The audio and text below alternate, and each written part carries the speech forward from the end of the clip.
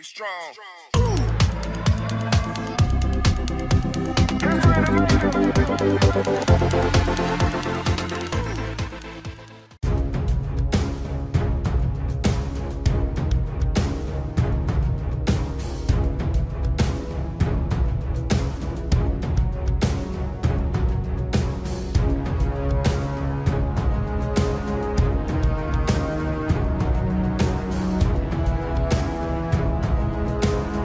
The United States Air Force will decommission three units of A-29 Super Tucano aircraft in 2024.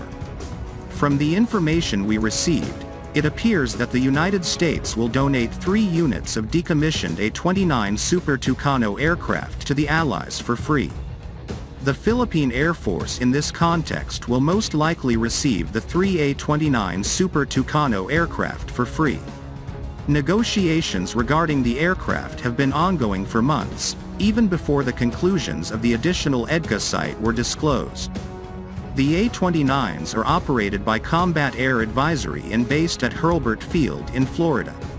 Although the request has been submitted to the United States government, getting the aircraft is not a sure thing for the following reasons and it is also not a guarantee that the equipment and other add-ons on the US-made A-29 Super Tucano will be included in the transfer. It is also possible that some sensors and other devices on the aircraft will be removed before the transfer. And the Philippine government, if they are selected as the recipient of the A-29, will have to purchase the items that will be removed from the aircraft but if indeed the aircraft will be transferred to the Philippine Air Force, it is still a great addition to their inventory. From the information provided, the Philippine Air Force requested that the equipment of the aircraft be retained if possible and included in the transfer. However, it is up to the United States government to consider this request and decide which country will request the Super Tucano Sierra Nevada, according to the careful evaluation of the United States Air Force and Department of Defense. And the requests submitted to the United States are not only about the A-29, there are also requests for helicopters and other attack aircraft.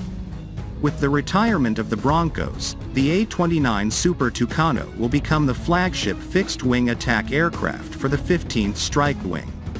Additional A-29 aircraft are already in the planning stages, but again, just like any other procurement for the AFP modernization program, they are waiting for funds to be disbursed, which they hope will be prioritized for them. Has the Philippine government's request been granted, and is the Philippine Air Force confident enough to retire the Broncos this year? The retirement of the Broncos will depend on the additional aircraft that will be available for the 15th Strike Wing, and if there is a replacement, the venerable OV-10 can be retired properly.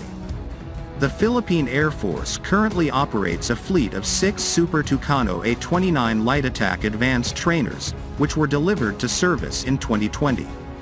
The Philippine Air Force is considering acquiring more Super Tucano A-29 aircraft from Brazilian company Embraer and should have at least two squadrons. For now, the Philippine Air Force is currently targeting six additional units of Super Tucano A-29 aircraft and will have one squadron of Super Tucano aircraft if the additional project is successful. The Philippine Air Force is also currently trying to request three units of Super Tucano A-29 aircraft that will be decommissioned by the United States, and this project is still under discussion. The Super Tucano is a turboprop aircraft designed for light attack, counterinsurgency, close air support, and aerial reconnaissance missions in low-threat environments, as well as providing pilot training. The A-29 Super Tucano is the only aircraft in its category equipped with an internal machine gun, which releases pylons for use with other weapons and allows for more than 160 configuration possibilities. The aircraft can also be used for training, reconnaissance, support, and much more.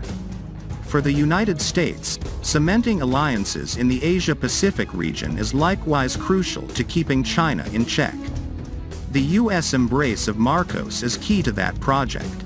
To get inside the American effort at mending ties and Marcos' decisive pivot to Washington, Reuters spoke to more than two dozen current and former officials from both countries. Some spoke on condition of anonymity because they were not authorized to speak to the media.